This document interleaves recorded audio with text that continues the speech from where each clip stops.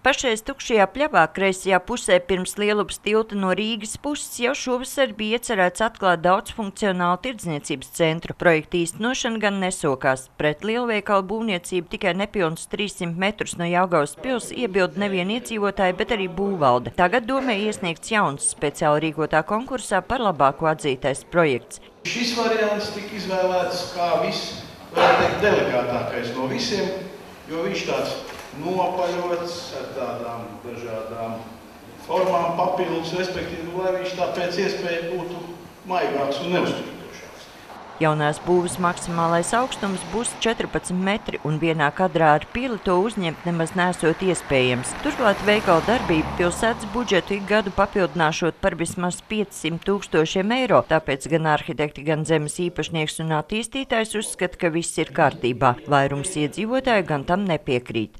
Mēs Jālgavnieki neesam, neesam pret veikalu, jo mums ir ļoti daudz labu vietu.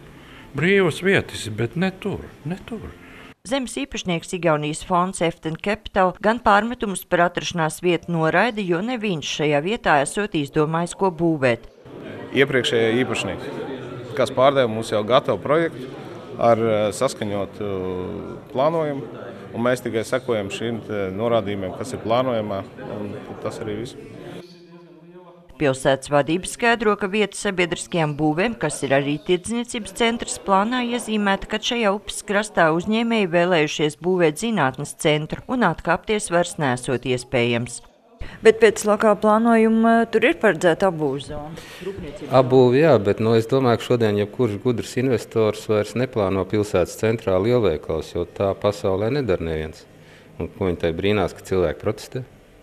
Mēs dzīvojam šodien modernā pasaulē. Kāpēc mums vajag vecmodīgus investors? Doma neskata, nē, tas ir būvvaldes, būvvaldes uzdevums šobrīd izskatīt, vai iesniegtais projekts atbilst likumam. Ja viņš atbilst likumam, tad mums var būt ļoti dažādas emocijas, bet likums ir uzrakstīts.